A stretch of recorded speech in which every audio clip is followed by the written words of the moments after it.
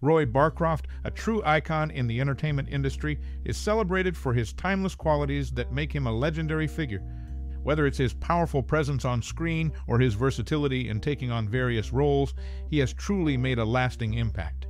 As you think about your favorite performance by Barcroft, feel free to share your fondest memory or personal experience related to this classic actor in the comments below. Your stories add depth to the rich history he created over the years. Stay tuned for more interesting facts about Roy Barcroft in the upcoming segments. Watch this video to discover more about the man behind those memorable performances. We're eager to hear your thoughts, so remember to share your stories in the comments. Roy Barcroft, an influential figure in Hollywood during his time, left a lasting impression on the film industry that went beyond his era. He played a crucial role in shaping the Western genre, becoming a recognizable face and a reliable presence in numerous productions. Throughout his career, he portrayed a variety of characters, often taking on the role of villains with a distinctive style. His strong presence and nuanced performances significantly contributed to the success of many films. He became known for his ability to embody the quintessential antagonist, leaving a lasting impression on audiences. Barcroft's contribution to Hollywood went beyond the characters he played. He was a dependable actor, known for his professionalism and dedication to his craft. Directors and producers valued his reliability and adaptability, making him a sought after talent in the industry. As Hollywood evolved, Barcroft's influence remained. He became a symbol of the Western genre, contributing to its popularity and shaping the way audiences perceived characters in those films. His impact on the industry was not limited to a specific era, instead, it continued to resonate through the years. In addition to his on screen contributions, Barcroft's legacy includes inspiring future generations of actors. His commitment to his work and his ability to bring depth to even the most villainous characters set a standard that many sought to emulate. In conclusion, Roy Barcroft's influence on the film industry persisted beyond his time.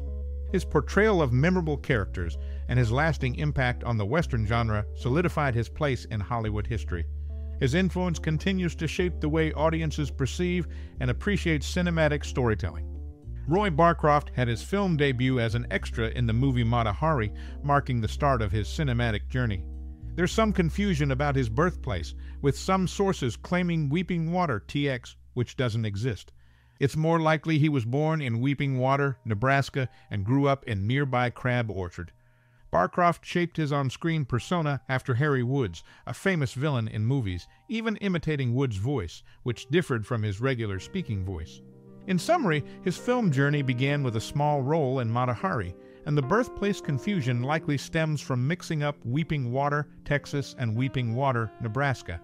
Barcroft's screen persona, inspired by Harry Woods, showcased his dedication to his craft, extending to emulating Woods' distinctive voice. Roy Barcroft, originally named Howard H. Ravenscroft, became well known for playing the bad guy in low budget westerns during his early years as a freelance actor. His impressive performances caught the eye of Republic Pictures, and in 1943 he signed an exclusive 10 year contract with them.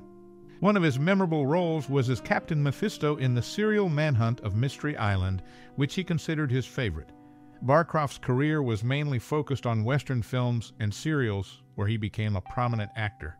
His skills and versatility made him a valuable asset to the industry, and his impact on entertainment continues to be felt. Roy Barcroft, a significant figure in classic Western films, made a lasting impression with his roles. In antagonist characters, he found his place, becoming a familiar face in Hollywood.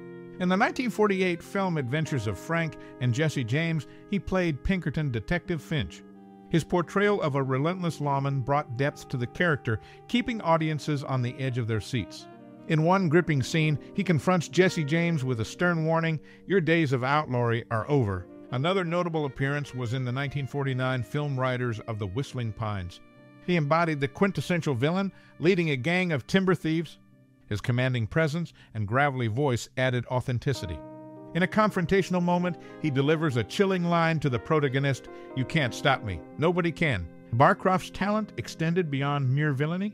In the 1953 film South Sea Woman, he played a Marine sergeant named Major Abe Cohen. His portrayal showcased versatility, seamlessly transitioning from a menacing antagonist to a stern military figure. He made significant contributions to the Western genre, portraying characters that moviegoers love to hate. His performances were captivating, leaving a lasting impact on the cinematic scene. Barcroft's ability to immerse himself in diverse roles showcased his skill as an actor, making him a respected figure in classic Hollywood. In history, Roy Barcroft's roles remain a testament to his skill and dedication.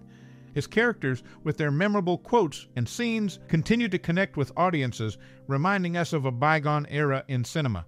His versatile acting in westerns is remembered by those who appreciate classic films. Roy Barcroft, known for various film roles, played Sheriff Olson in Man Without a Star. In the movie, he worked alongside George Wallace, who played his deputy. They previously appeared together in the Commando Cody serial, Radar Men from the Moon, with Wallace as Cody and Barcroft as the antagonist Retik. Before entering the entertainment industry, Barcroft served in the U.S. Army twice. His first stint was during World War I, where he got wounded and later discharged. He served again from 1923 to 1926. After the 1929 stock market crash, he moved to California with his family seeking employment.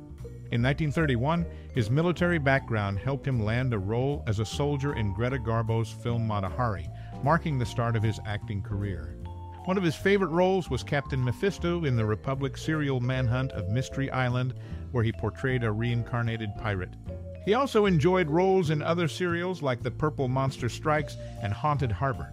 Throughout his career, Barcroft brought versatility and depth to characters, leaving a lasting impression on the industry. He appreciated roles in serials and made significant contributions. Roy Barcroft, a familiar face in low budget westerns, earned a reputation as the quintessential bad guy. His mere presence on screen signaled to young audiences that trouble was looming.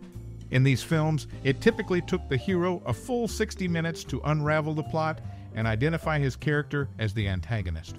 His on screen persona as a Western heavy was so convincing that in the late 1960s, interviewers expressed surprise upon discovering his charming and friendly nature off camera.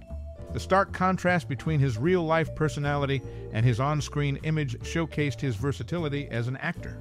Born into a different kind of drama, he joined the U.S. Army during World War I at the age of 15, fibbing about his age.